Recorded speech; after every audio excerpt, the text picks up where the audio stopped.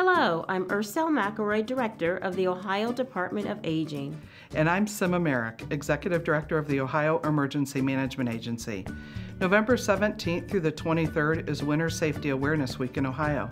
Wintry conditions can be particularly challenging for older Ohioans. We urge all Ohioans to be prepared, keep warm, prevent falls, and stay connected this winter.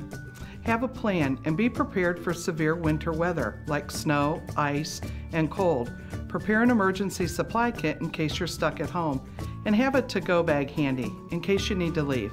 Heat your home safely and dress warmly to prevent cold related illnesses like hypothermia. Keep sidewalks and steps clear, and use extra caution to prevent falls when out and about. Finally, stay as active as possible and have a friend or family member check in on you regularly.